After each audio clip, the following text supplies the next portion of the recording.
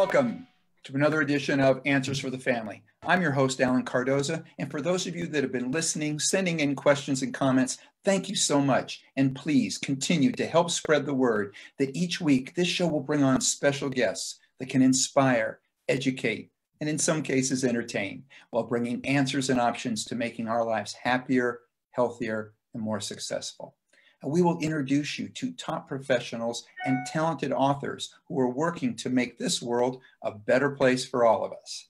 Now, I would really appreciate it if you could all do me a big favor.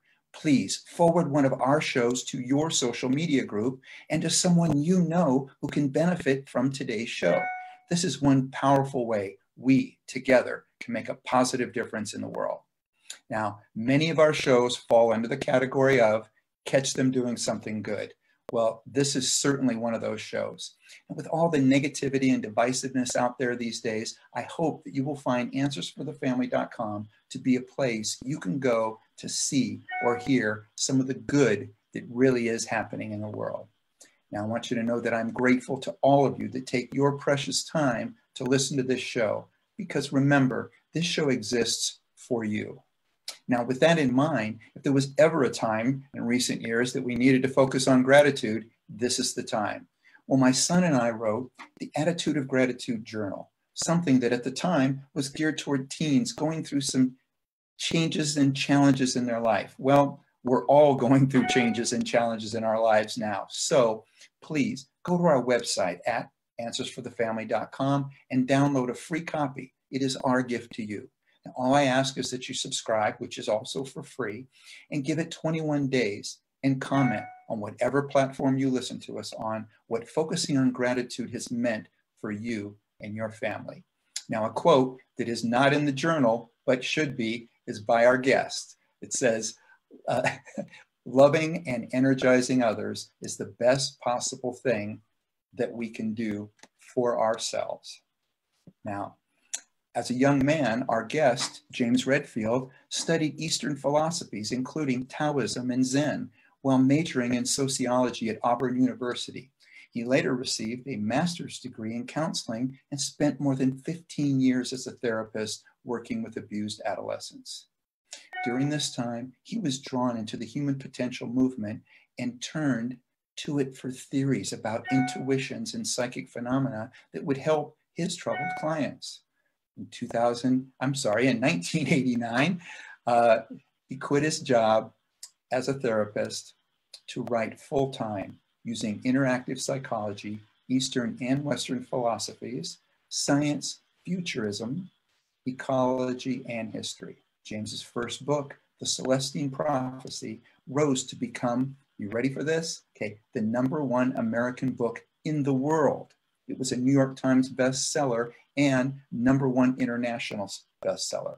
This phenomenal novel spent over three years on the New York Times bestseller list.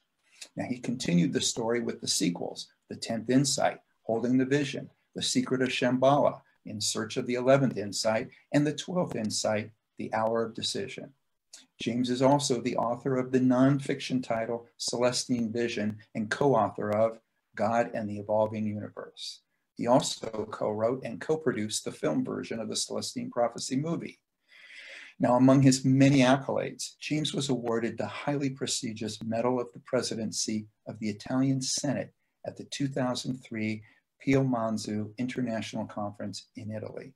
James has received Humanitarian of the Year Award honors from both his alma mater, which is Auburn University, and the International New Thought Alliance. James, welcome back to answers for the family. Thank you very much. Nice to be with you, Allen. Well, it is it is my pleasure, and I would love if you could um, kind of bring us up to date. So bring the listeners up to date as to what you've been up to since the Celestine prophecy, and bring me up to date since the 12th prophecy, because that's the last time I spoke with you. well, it's very interesting. Uh, you know, I think it's a new time in the world. Uh, we uh, uh have re-released the Celestine Prophecy. Uh, it's being passed around by two new generations, uh, which is a lot of fun. and, that, and until the shutdowns, you know, we were touring mm-hmm. widely internationally. so uh, you know those uh, are very exciting times um, out there uh, uh for um, me, and, uh, and, I think it it's uh, reason to be optimistic because these two generations are looking for more in life, and it's they're asking the higher questions suddenly, and, and that's really because they their generation is reaching a certain age. You know, well, it's really really three generations all asking larger questions because the baby boomers want to know what about legacy? Look at this world. What can we do to help? Mm-hmm. A higher question. Uh, millennials are reaching that critical age of 38 to 40 where you say, okay, I did my duty. I've, I'm a parent. I've, I'm, you know, making a living. Um, and, but, but what I really want to do with my life and then you have the the uh, the children of millennial of uh, millennials, yeah, that who who are facing college, mm-hmm. winding up. I mean, they, these are all these are three huge generations, all asking the higher questions. And then on top of that, what do we have? We have uh, a pandemic that has shut us down. You know, we're staring out the windows uh, mm-hmm. at at the at the world going by suddenly left to our own devices in, in a lot of ways you know a lot of people lost income i mean this this was a sh- shock but what it do- does do i think is create a kind of spiritual reset and when i say spiritual uh, i mean uh, a kind of spiritual consciousness that we can break through to uh, that proves proves to us that there's something else besides the material reality that a lot of people still point to as uh, all there is. So it's a, it's a remarkable time in the world because of what's happening. We have social unrest. Uh, in, in, a way, I think both the house arrest, if you want to call it that, and the, and the uh, social unrest uh, is all part of the reset. And I, I, think what's happening in terms of the, uh, you know, social justice as a topic out there, uh, it's, it's actually healing uh, some racial discord that, that was uh, out there uh, without any conversation about it. So now the, the positivity of that is, hey, we're talking about it, and uh, people are reaching out to each other more in love and support. And uh, that's happening across all these divisions so you know i'm i i, I argue that as hard as this is for for many of us uh, it's it's a reset in terms of looking for uh, spiritual answers and i would argue uh, that spirituality is spiritual consciousness is something that every person can prove to themselves is real. Uh, it's it opens up our intuitive intelligence, uh, which makes life go easier. Uh, life is not supposed to be this hard. Uh, the structure of the universe, in my view, is uh, offers help to us. We just have to tune in and be you know be very very alert to the, the, the flow of mysterious coincidences that can lead our lives forward and solve every problem we have. So that's a mouthful. Yeah, uh, I'm more excited after the books. You know, I'm I'm more excited than ever before because I think again we have uh, all of these generations asking the larger questions uh, we're we're on our own, which is what you do in meditation anyway. Mm-hmm. You, you you learn to live with yourself, and you you open up your intuitive intelligence. And there's more, actually, more meditation going on in the world now than ever before in history. So it's it's very interesting um, uh, to be out there now talking about this again and having more and more people saying, you know, I'm tuning in. I, I know what you mean by intuitive intelligence uh, and boy, that's a lot of fun. Well, and it's it's one first of all, it's one of the things that I love about you and what you do is is it is that focus of the positive. And and when your book came out in the 90s, we were going through some issues as it related to kind of greed and things like that. And and your book really opened the eyes for a lot of people into our consciousness, into meditation, and so many positive things. And then again, uh, you know, you know, in about 2012 uh, when the 12th Insight came out.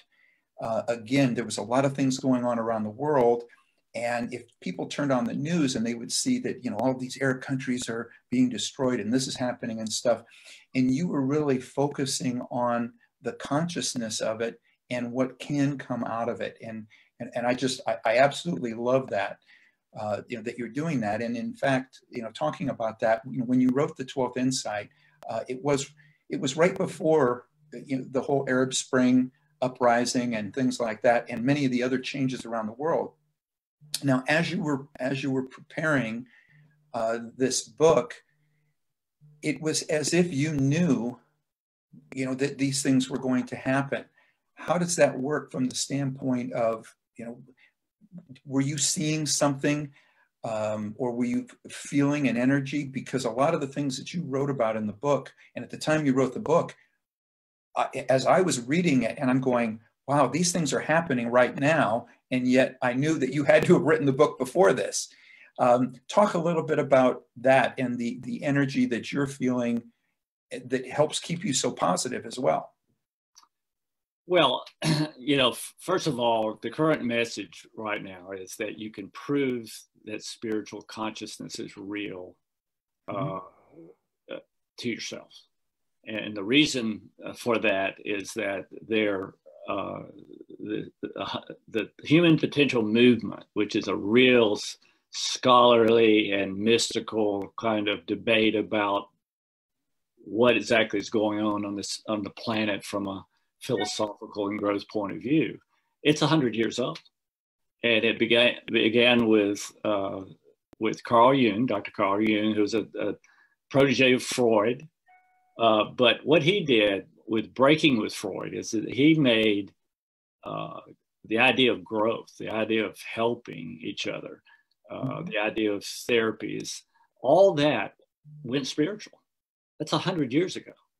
So since then, there's this uh, this huge conversation of all these people, uh, adepts, mystics, scholars, you know, all debating what's real about spirituality in the world. And I think at this moment, with all the other stuff, I think we can say that the the the uh, human potential movement has reached a consensus about what spiritual experiences are available to humanity and how they work and how you prove to yourself that they work. Um, uh, and uh, you know the the optimism comes from that. That's a that's a huge uh, awakening that's happening on the planet right now. That is, uh, is, is, there's there's no real celebration of it with all all that's going on, you know, but it's the it's so much of the answer to what we're facing. Uh, so that's you know that's that's how that's why I say optimistic because I think there are reasons to be optimistic. I mean, the human race is still evolving. And and but how do we get more people to to stay focused on that? Because you know, at the same time in which yes, there is certainly a movement of of people, and we can look at it now. I mean, if you would have said, you know, um, I don't know, 30 years ago that there was going to be a yoga studio you know, on every other corner, people would have laughed at you. So, uh, you know, so yes, things are moving forward, but it appears as though there is also a faction or, or some group anyway that is focused on chaos. And so, you know, th- there's this battle that seems to be going on. And uh, the, the ones that are focusing on chaos have have taken over the media so they seem to get more publicity than than the fact that there is so much good going on as well. Yeah. Well, you know, the the the the, the the path to uh, consciousness is unifying, and uni- unity brings cultural change. And there are entrenched uh, forces, you know, that we I, I just sort of uh, label them the dark side uh, because it's not really a war. You know, I mean, these are these aren't the people that um, we we want to hate. You know, if you, it, it, which is why you know if you're listening, if you're listening to a politician, you know, if you're screaming at the politician, you're you're listening to on um, television. You know, it's it's clear that you're joining the dark side. so our our role in all that uh, briefly is, uh, in my view, to to stay in in the light and stay in this the uh, the reinforcing energy that we can get that there is a progressive evolution centered around the whole uh, the whole idea really of heart opening and the you know love based meditations that I recommend mm-hmm. uh, so that you know and, and again I sometimes argue with my compadres out there who talk about self actualization you know as though we're doing it all ourselves and that's not what that's not the experience of it you know the experience of it is that we're getting help uh, and that's what makes life go easier uh, mm-hmm. over, but I'd argue uh, with a lot of people about the idea of should love be a part of this? You know, can't we just say consciousness? Because you know they they have the the feeling that well, love is you know it's it's amorphous. You know, it's it's kind of a this this odd um, this odd emotion uh, it's it's wishy-washy it's not powerful it's mushy it's all those things right? So we got to got to quit saying love.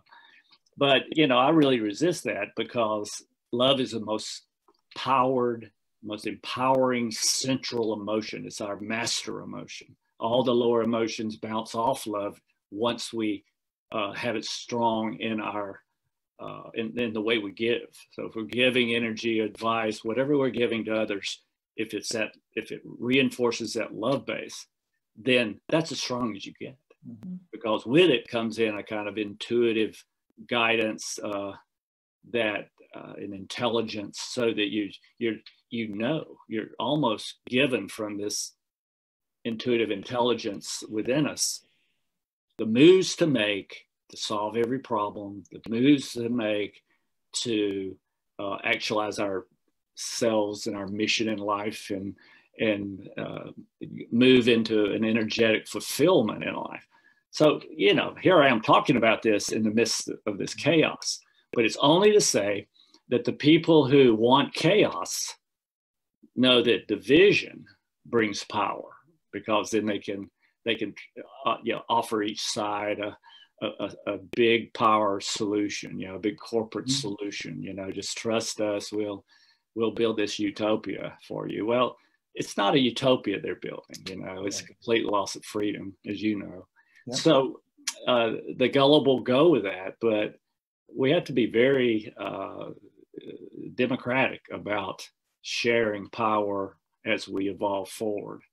Uh, and I think that, uh, yeah, the dark side is, you know, do what they do because they're hooked in this fear model this fear system where you know power is the only solution uh, they have for the you know for human anxiety for existential anxiety you know. So they they just got enough money or more money all the time then then they can feel halfway uh, secure but not really because it's a hole that can't be filled by money and power right?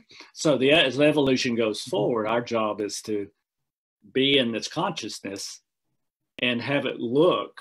When we live it out loud we, it's a much more appealing way of living than being stuck in fear. And the, the idea you know as we pursue consciousness we're in the replacement business. You know we want people who need power and greed and all the rest to come over to the light side.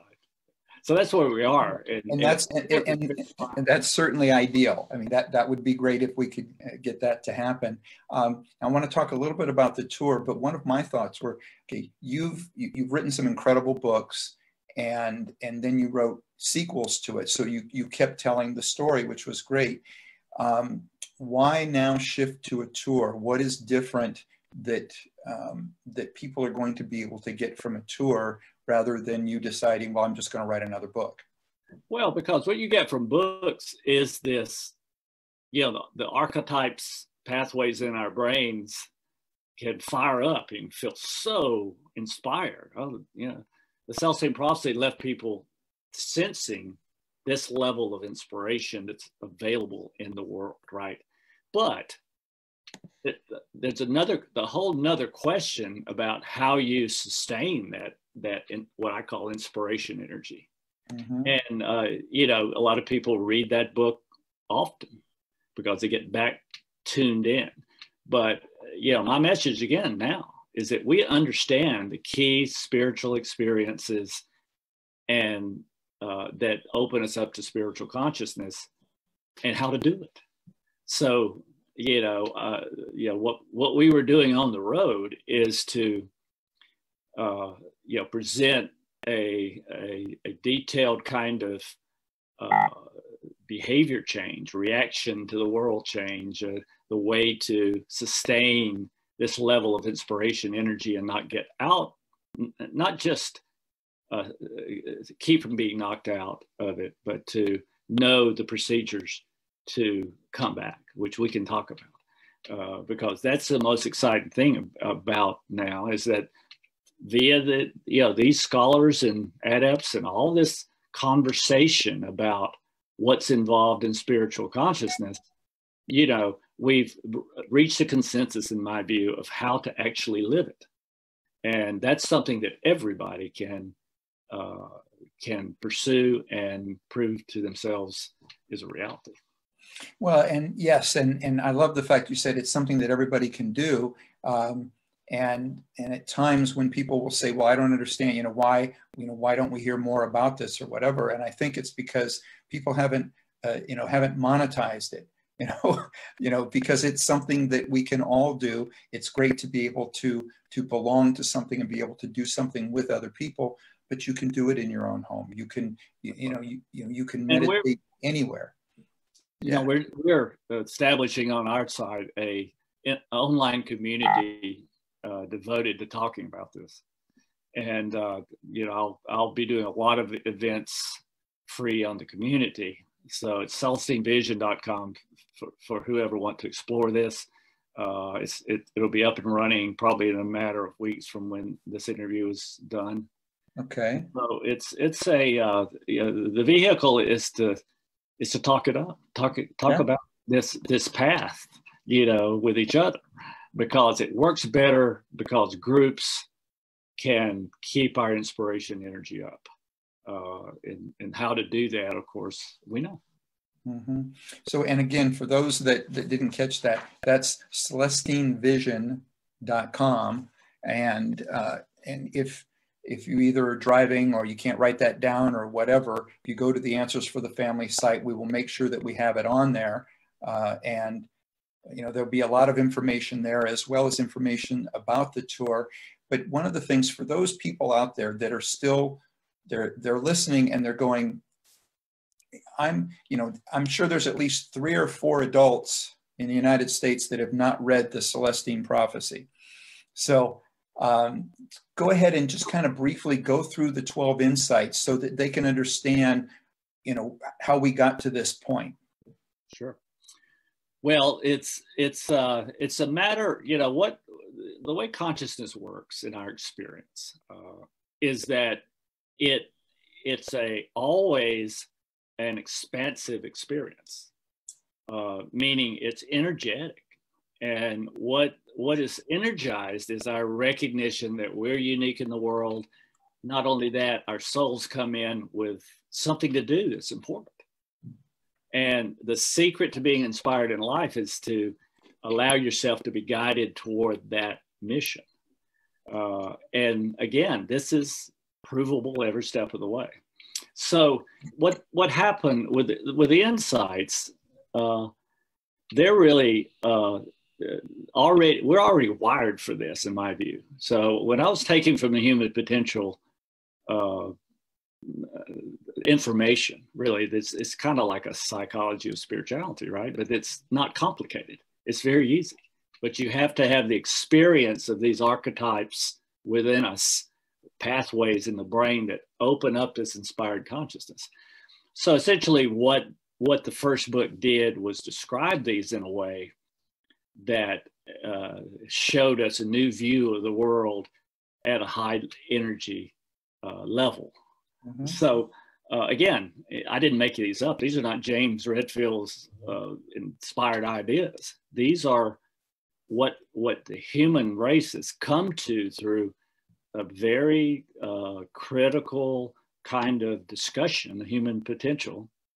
Uh, and I believe what now the consensus is on how to do this. So it's time to to you know open up our our higher consciousness and our intuitive guidance and all that goes with it. So let's just go through them.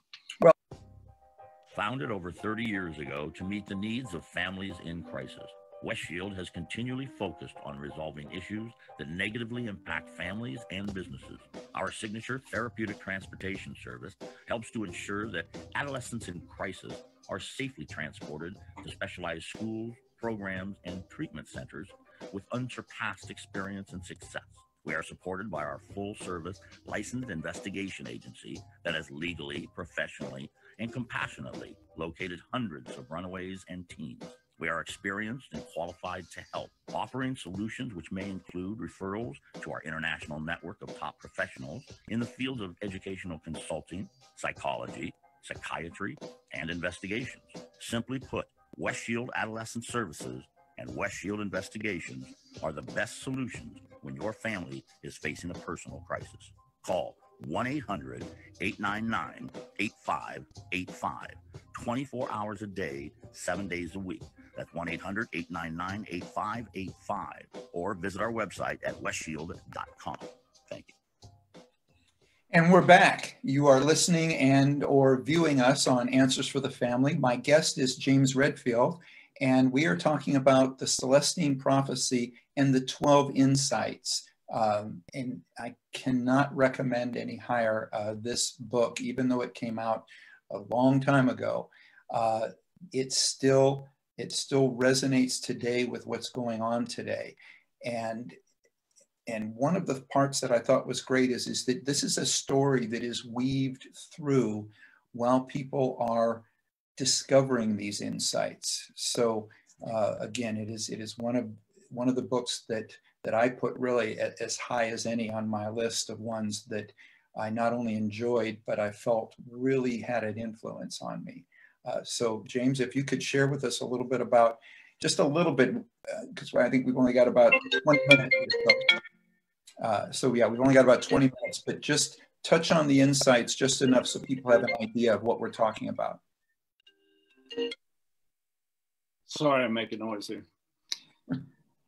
Uh, you know, the insights again are are uh, understandings that that elevate that we're discovering that elevate our general level of experience and excitement about being alive, because that's our natural birthright. Uh, the first thing to understand about the world, the first insight is that mysterious coincidences happen in life that are designed as help in other words, mysterious coincidences bring us information just the right time if we're alert and if we if, uh, strike a yeah make the conversation if it's from a person uh, go deeper find out the real meaning for your life because uh, this is called Carl Jung coined this word synchronicity. The universe is synchronized so that the people you meet in life, going to work or, or or taking your walk, uh, they're all um, have meaning. And what happens is in conversations, we have, uh, we trade ideas about our lives and share our life experiences. And suddenly we have a synchronicity. Wow, this is, I was just thinking about changing uh, uh, careers and going into teaching. And this is suddenly I'm, I'm listening to this retired teacher say about what's key to be fulfilled in in in in, in the you know the, the gift of teaching. So mm-hmm. these are the kinds of synchronicities that are waiting for us. Now we have to know other things about the world in order to uh, really uh, make use of these synchronicities, to have enough of them, to have a flow of them. Uh, the second insight is to understand that if you look back in the history of human progress, the people that provided all the the steps in human consciousness. You know where we invented nation states and we we started to uh, to build uh, the the basis of a of, of, of a global awareness of each other uh, and acceptance of that they you know every biography that you read has dozens of mysterious coincidences that led the person into the life that they led and usually into the mission that they accomplished while they were here. So it's really about stepping into your your own way to help the world evolve positively. Mm-hmm. uh, the third insight is probably one of the most important because it's an understanding of karmic design. So uh, and it works this way give it the whole karmic structure in this spiritual world that we live in is uh, around the idea of giving. Mm-hmm. In other words, something happens when we give, when we think about intuitively how I can help this person that I may not know, but I'm, you know, uh, suddenly thrown into a conversation with, or, uh, or you know some sense. We all get and this humans do this automatically but we're making it more conscious. We talk start to talk about our own life journeys to other people. Why? Because we have an intuition that this might be interested interesting to the other person. What does the other person say very often? You know i needed to hear that right now. That that yeah. what how you handle this problem boy that helps me because i'm facing a similar problem. Now you all you knew is you got the head intuitively to share something with the other person. Okay. So, but that's the coordination between humans that is is ready to be uh, to, to be aware of. Uh, some of these insights would change the world immediately, just one of them. Mm-hmm. But what, what happens at the third insight is you understand karma. And it's why why we should stay on the, the light side of life, not the dark because mm-hmm. if you're a giver and, and, and, and want to help people and you're giving that a lot of attention, what happens is you attract more givers into your life. Anyone can prove that this is true. In fact, if you talk to any shopkeeper, you know, it's been successful, uh, you know, they'll say, I had to take care of my, my uh, customers. You know, if I don't, they won't come back. They won't spread the word. Uh, so it's, it's eminently provable that staying on taking the time to help others is dramatically life changing because all of a sudden these other people you draw them into their lives they show up in your lives to give to you. Givers attract givers. Now if you're a taker in all the all the ways the dark side takes uh, whether you're uh, manipulating somebody to get energy from them or or uh, recognition, or you sell them something they don't need, or you just otherwise leading them astray because of some uh, hidden agenda. If you're a taker, your your synchronistic flow is going to slow back down because you draw into your life more takers, and so uh, that's a big wake up call for any of us that unconsciously take. You know, uh, so it's no, staying in alignment with karma changes your life immediately. And again, people have to become conscious of this, conscious of how they take, how they don't look out for the other people in their lives.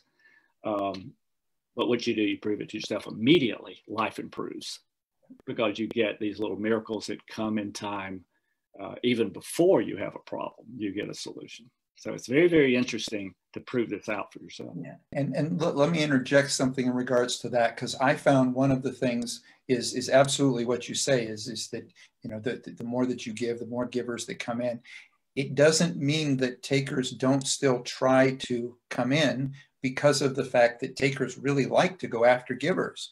Um, it also means that we as givers we need to learn how to say no and I think that was one of the steps for me anyway, that, that was a huge step positive was to be able to just go, no, I'm, you know, I'm, I'm very happy with giving where I'm giving at this point in time when I recognize that, you know, that particular person is, uh, isn't part of the tribe.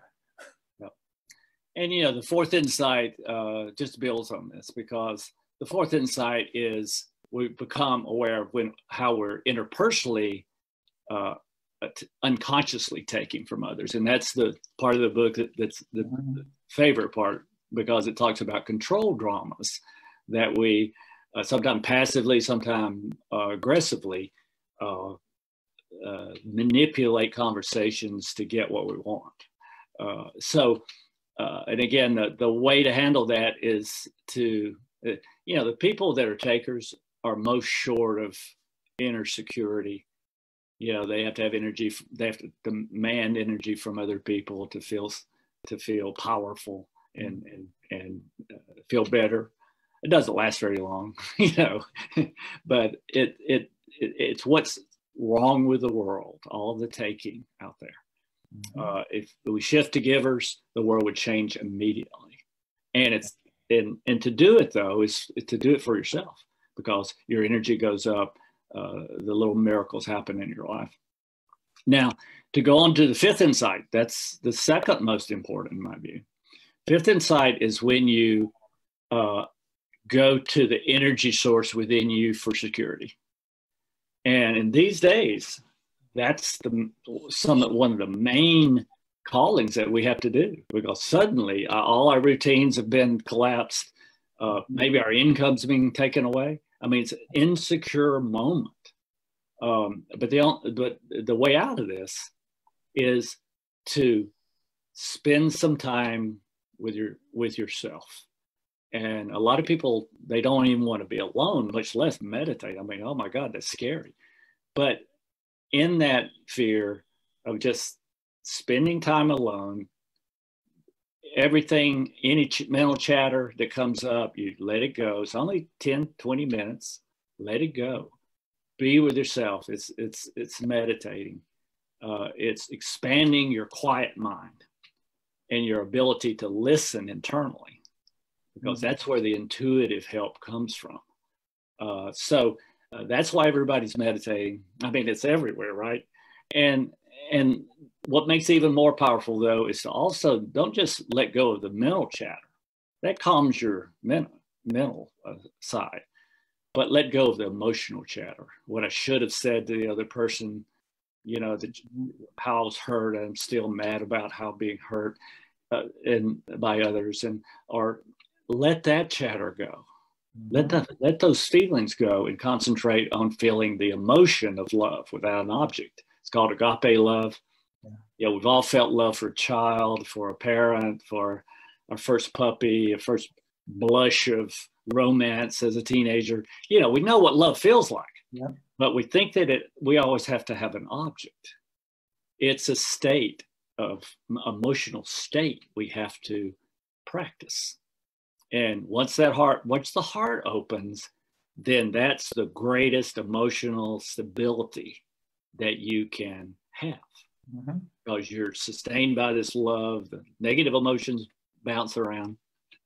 So this is this takes some effort. You have to prove this to yourself, and that to be real, and it, it, it is. The sixth insight is when uh, the longer you meditate, you start getting this intuitive guidance. And at first, it's just to do something to prepare yourself.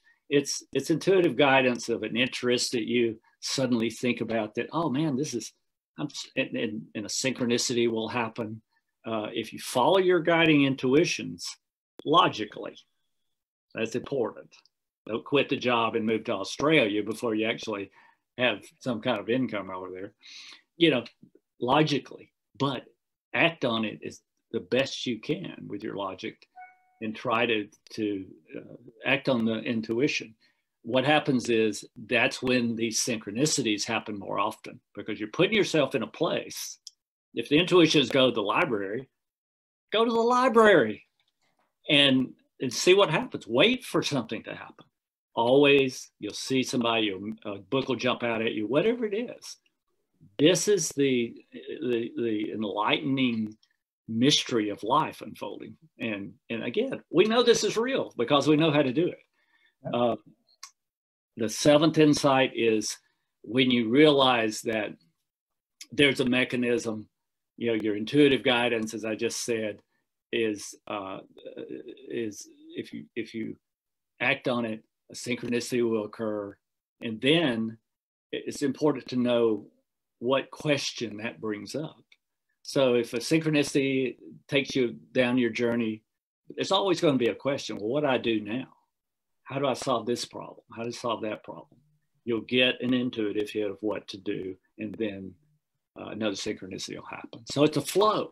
We're looking for a flow syn- synchronicity. Eighth insight is one of the most important because if you're depressed, if you give energy to another, just forget, forget, you know, maybe too tense to meditate, you know, because it's scary for whatever reason. It's scary now for a lot of people. Just go try to help another person. You can do it online, you can do it uh, wherever you can, but it's there's a precise way that you give energy, and that is to uh, make sure that you are uh, intending for energy to come into you and out to them. This is love energy. This is agape inspired energy that comes out, goes into another person. Now, they may not even feel it right away, but if you're in a conversation, if you look for the uh, uh, the, the, the their higher self, you know, their their wisdom, the, the the expression on their face that that um, where they're connecting with their own intuitive guidance and all that comes with that. What happens is sometimes they'll pop into a higher conscious just for the first time, just by talking to you. That's why when you talk to people giving energy and, and looking for the, the genius behind the eyes of the other person, they'll pop into that. And, you know, they may, as soon as you leave, they may not hold on to it. But it's it's an energy that is uh, fills you up first. That's it. So it's a healing, energizing thing to do to give people people energy and to remember to do it every time. That's the flow. Okay, so James, let me let me just jump in real quick. So for everybody out there, again, if you get the the book there, there are twelve insights. Um, we have a couple of of um, listener questions that have come in during the show that are either come in through email or instant message. I want to get these in real quick as well. Actually, one's a comment, one's a question. First one reads, uh, I'm a longtime fan of your work. In fact, I copied the text of your opening scene of the Celestine Prophecy and made a screensaver for my computer. And then they have in quotes, look not from the mind, but from the soul, for the life that is coming is already before us, waiting to open the world. Just look more closely, find the eyes to see. End of quote. It says, Your, your 12 insights were so beautifully presented. Uh, it opened my eyes to a new way of living. I just wanted to thank you from the bottom of my heart for the past and continued work you are doing for all of us in times of such distress and distraction. Much gratitude from Catherine in New Jersey. Well, thank you, Catherine. That's that's those are great comments. Uh, we'd love to have you in our community. Uh, you should uh, explore celestinevision.com. Uh, okay. I'd love to meet you. But thanks again for the question. All right. And then the, question that said, uh, I had not heard of the Celestine prophecy uh, uh, until uh, I, um, I brought this interview to the attention of my mother. She flew over to one of her many bookshelves and handed me two of your books. Uh, I read them both and watched the movie on Amazon Video. I am 27 years old, by the way. So the book was written the year I was born. So, you know, uh, I'm, I'm having a movie night next Saturday for a group of friends to introduce them to this message of hope, which I love. Thank you, Valerie in San Francisco. Thank you, Valerie. Yeah. so, and that's great. Um, so, um, just we've just got about another minute. So, what are some tools and techniques um, that that we can use to empower ourselves to create inner harmony today? If you can give somebody a couple of things, and again, we still want everybody afterwards to go to uh, to uh, celestinevision.com, but in the meantime, what are a couple of tools that you, that you can give people? Hello. Wow. Uh, we may have lost James. So um, with that, um, we were about out of time anyway. So, um, so let me talk a little bit about next week. Um, uh, the overwhelming stress of life, which is motherhood and relationships, will continue uh, uh, on long after this current health crisis has ended. And uh, no one addresses these issues more uniquely and better than Tova Leigh, author of and effed at 40. so be sure to put us on your calendar and tune in next Monday when Tova will share with us how she broke out of the mom box uh, in a most candid interview about marriage, fidelity, sexuality, parenting, uh, and, uh, and an item that many women struggle with silently, uh, body image after having children. And please visit our archives of past interviews at answersforthefamily.com or subscribe to the show through iTunes, iHeart, Stitcher, YouTube, Spreaker, or SoundCloud. And please leave a review. It will help us improve and reach more people. And I want you to know that we greatly appreciate it. And the next time you're on Facebook or Twitter, please remember to stop by our page, check out some of the latest posts. If you like them, please like us, and spread the word. Now, for everybody out there, be good humans and be with us next week on Answers for the Family. You're listening to Answers for the Family with Allen Cardoza, right here on LA Talk Radio.